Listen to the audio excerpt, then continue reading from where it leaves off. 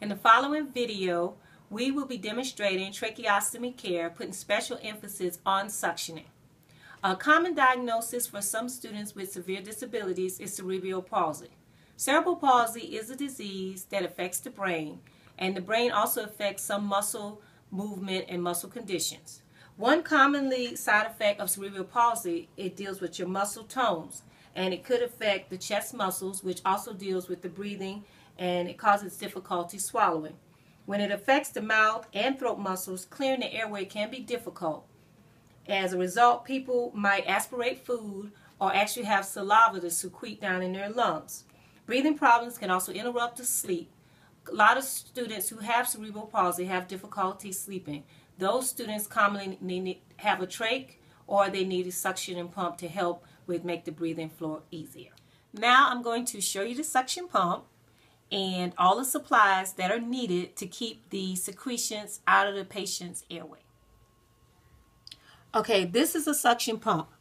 A suction machine is prescribed for patients who need stimulation to cough and to bring up secretion.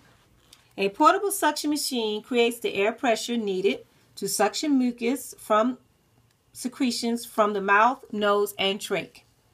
Most suction machines come with a regulator dial, and this is the regulator dial right here. That can be set for, for the suction pressure and it should be prescribed by a doctor. Secretions drain through a length of connection tubing into a collection bottle that comes with the machine. This is the reservoir bottle, also known as the collection bottle. And that comes with the machine.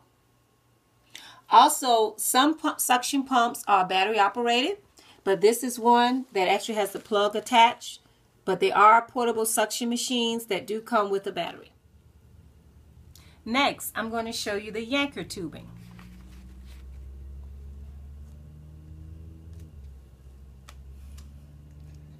This rigid curved tube is called a Yankauer, made from a blend of clear, blue tinted, shatterproof plastic. Edges are smooth and clean with no flash or parting lines. Clear tips permit visual monitoring of suction fluids. A ribbed universal connector fits into the tubing and suctions the mouth. Next item I'm going to show you is the suction catheter kit.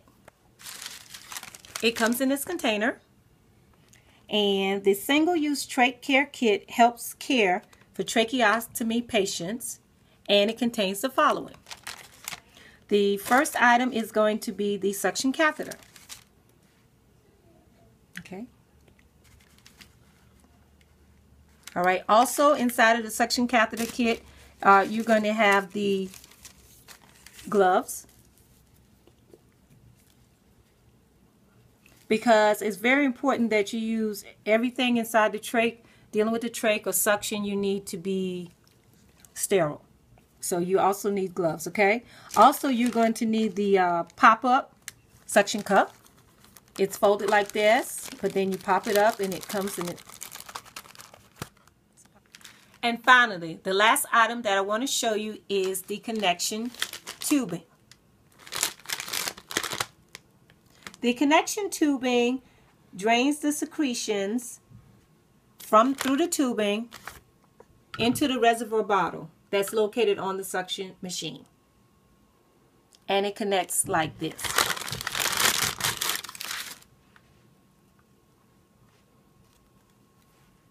You take this little top off,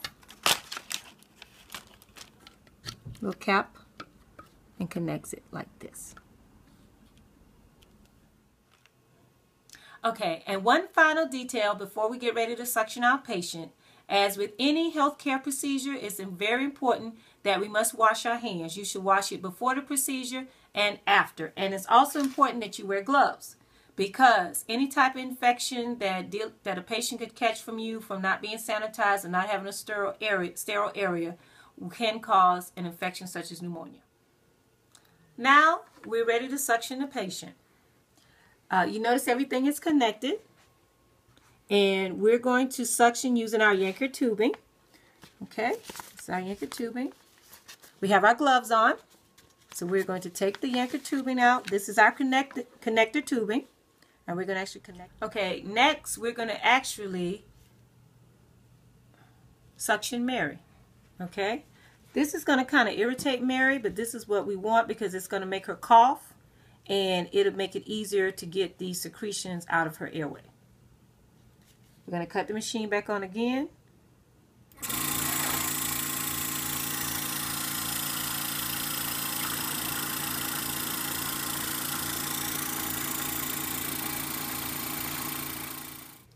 Okay, if the patient had an airway that was bypassed, then they would have a trach.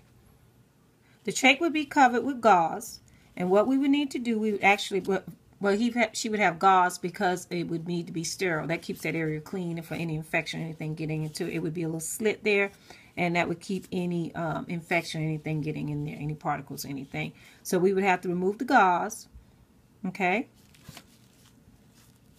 And then we would take this Yankauer tubing off and we would have to use the tubing that was for a tray. This is what it looks like. We talked about it earlier. We plug it in here and we'd actually take this and insert it into the little slit that the patient, and that's how the patient would be suctioned. The same way the machine works the same way. It still has the connector tubing and everything. All the secretions would go into the reservoir. And finally, since we know how to suction a patient, now let's go over a few cleaning and maintenance procedures. The collection unit should be cleansed daily by the caregiver by washing it in hot soapy water and rinsing it with warm water.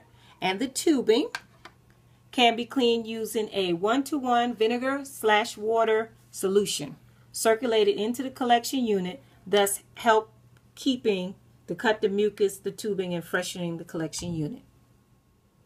So that covers suctioning. I hope you enjoyed this video and I hope it was informative to you.